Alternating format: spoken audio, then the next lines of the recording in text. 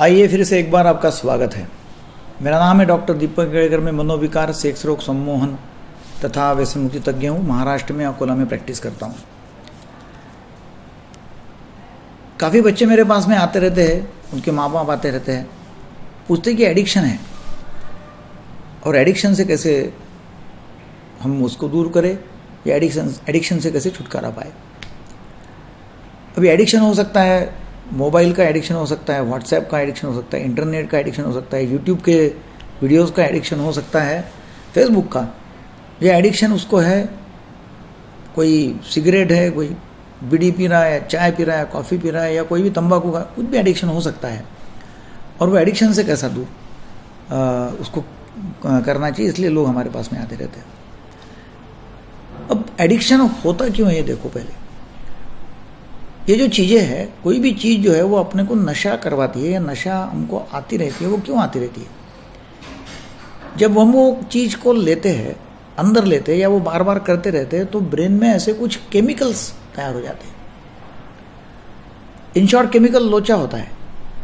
अब जब केमिकल लोचा होता है तो वो उसमें प्लेजर आता है। कोई भी एडिक्शन किया तो उसमें डोपामिनर्जिक सिक्रेशन ज़्यादा होता है। या डोपामिनर्जिक पाथवे जो है वो एक्साइटमेंट में चले जाते हैं। सिरोटोनिन के पाथवे जो है वो एक्साइटमेंट में चले जाएँगे और लेवल्स बढ़ जाएँगे और अच्छा लगता है। उस समय तो अच्छा लगता है।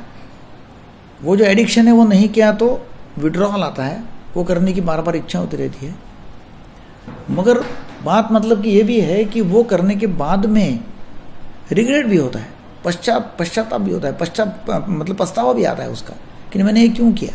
करना नहीं चाहिए था। मैंने तो बोला था मैं करूँगा नहीं। और बाद में पछतावा भी आता है।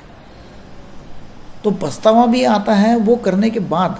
मगर करने के पहले तो क्या होता है? जब वो चीज़ सामने दिखती है, ऐसा लगता है कि मैंने वो करना चाहिए। भले वो चाय का एडिक्शन हो कॉफ़ी का एडिक्शन हो सिगरेट का हो, शराब का हो, वो एडिक्शन मतलब वो चीज़ जब सामने आती है तो ब्रेन पूरा ब्लैंक हो जाता है। अंदर जो है अपना पूरा ब्लैंक हो जाएगा। और ब्लैंक हो जाएगा और कुछ नहीं सूझेगा। सिवाय वो चीज़ बार बार बार बार बार बार दिमाग में वो चीज़ आएँगी, वो करना है, वो करना है, वो करना है। और वो करने के बाद में अच्छा लगता है प्लेजरेबल लगता है, मज़ा आता है वो करने के समय। और एक बार का वो नशा उतर गया, बाद में एक तो पछतावा आता है, मैंने क्यों किया? मैंने ठहराया था कि मैं करूँगा नहीं, मैं पीऊँगा नहीं और तभी भी मैंने किया। अभी इसके लिए क्या है? इसके लिए क्या करना चाहिए? इसके लिए हम बोलते हैं कि भाई चाय बंद करो, चाय बंद करो, चाय बंद करो, या कॉफ़ी बंद करो, या शराब बंद करो, या फेसबुक बंद करो, या उसका एडिक्शन से मुक्तता पाओ, उस, वो एडिक्शन से मुक्ति पाओ, वो उसके ऊपर लड़ना, उसमें कुछ मिलने वाला है नहीं। हमको लड़ना कहाँ है? या हमको जो बदलाव लाना है, वो कहाँ लाने का है? वो अंदर दिमाग में लाना पड़ेगा। जिसने अंदर जो है, दिमाग के ऊपर काबू ला लिया, दिमाग के ऊपर कंट्रोल कर लिया, वहाँ बदलाव लाया, बाहर तो वो कहीं बदलाव ला सकता है। आपको एक एडिक्शन नहीं, आपको काफ़ी सारे एडिक्शन है। हो सकता है कुछ लोगों को थिंकिंग का एडिक्शन हो जाता है, काफ़ी सोचते रहते हैं। बार बार बार बार सोचेंगे। कुछ लोगों को आलसीपना है, उसका एडिक्शन हो गया है। कुछ लोगों को एक्सरसाइज नहीं करने का एडिक्शन है। कुछ लोगों को करने का एडिक्शन है तो कुछ लोगों को नहीं करने का भी है। कुछ लोगों को बहुत पढ़ने का एडिक्शन है। तो कुछ एडिक्शन अच्छे भी है, कोई बुरे नहीं है। मगर उसका फ़ायदा क्या है? जो बुरे है, उसमें तो तकलीफ़ होती रहती है। जो बुरे एडिक्शन है, उसमें शराब का एडिक्शन है सिगरेट का है, पान तंबाकू का है, उसमें तो बुराई तो होती रहती है। बदन के ऊपर असर होगा, बदन खराब हो जाएगा, जो भी है, वो होगा। तो अभी सवाल ये है कि एक एक एक एक करके एडिक्शन छोड़ना कि एकदम छोड़ना? धीरे धीरे छोड़ना कि एकदम एकाएक छोड़ देना?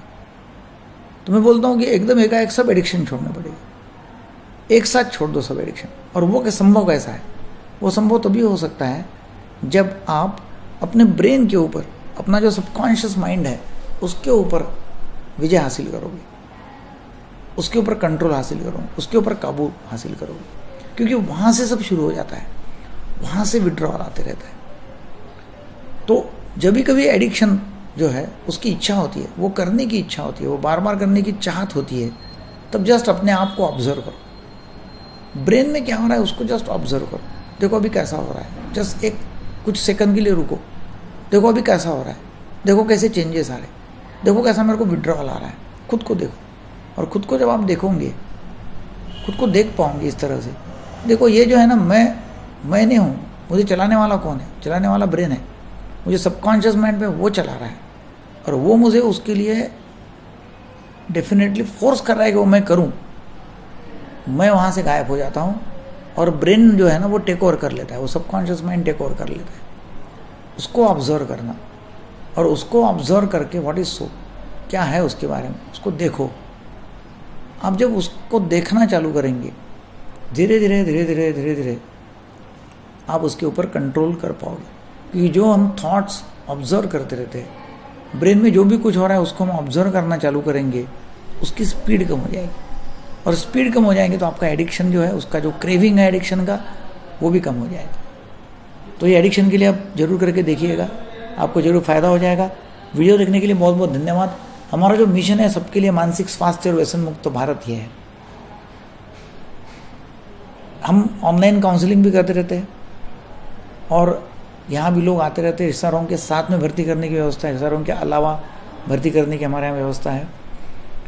और लोग अपने अपने मानसिक बीमारियों का इलाज हमारे यहाँ के करते रहते मोटिवेशन की वीडियोस देख के, सुन के लोग मोटिवेट भी होते रहते हैं। आपको अच्छा लगा तो ज़रूर लोगों के जीवन में फ़र्क करो, लोगों को शेयर करो ये video thanks for watching thank you very much